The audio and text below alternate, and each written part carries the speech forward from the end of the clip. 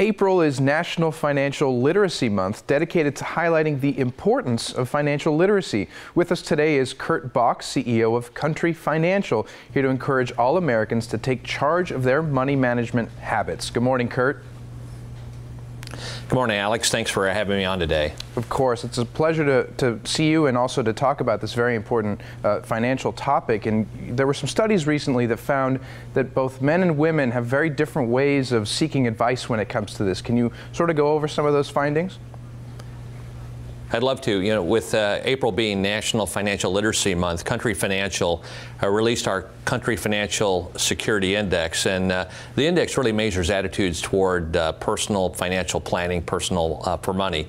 And uh, we found in this quarter's release that men are more likely to seek financial advice over women, and it, it's across the board, all the way from retirement planning and tax planning to buying a home or even purchasing insurance. Uh, men seek out advice over women, and uh, that's why April is an important month. Well, and it, of course it is, and, and Country Financial is also doing their part to participate in this month. Can you tell us specifically what you guys are doing?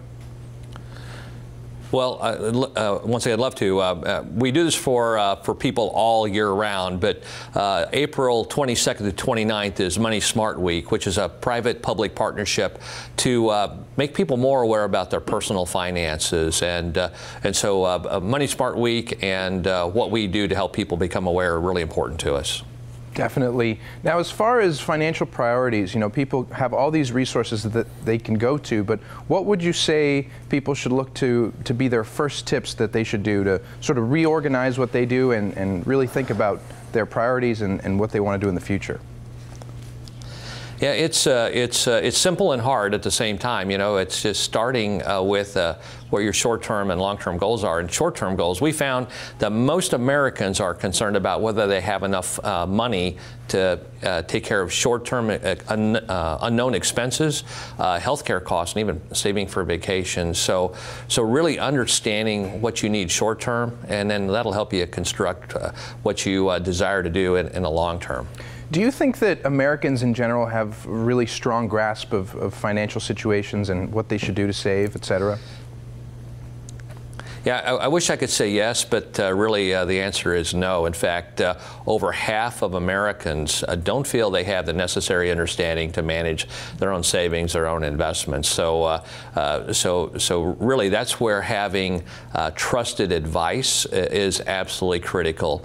And, and more often than not, we reach out to family first, uh, and uh, that becomes our primary source of advice. But really, our, our circle of advice needs to be a, a lot broader than that.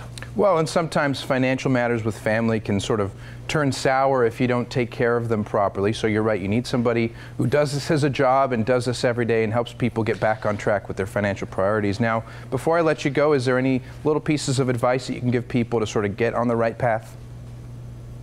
Absolutely. So, so really, number one, financial planning is, is not just for the wealthy; it's for everyone. So, so understanding where your money is uh, coming from and going to, and establishing those uh, those short-term and long-term plans, uh, and then uh, finding that circle of trusted advice. And outside of family, looking for financial advisors that can speak your language, that can talk in common terms. I think that's absolutely critical. So, so, but the most important thing of any step is just to start. All right, Mr. Bock, thank you so much for joining us today and give, giving us a start on our finances. Yeah, thanks. And uh, you know, it's uh, it's important for us all to be money smart. Uh, we uh, use countryfinancial.com, our website, to give tips and tools to help people start. But uh, I want you want to thank you for making this a priority. Of course, thank you. Now, stay right where you are. Morning Blend will be right back.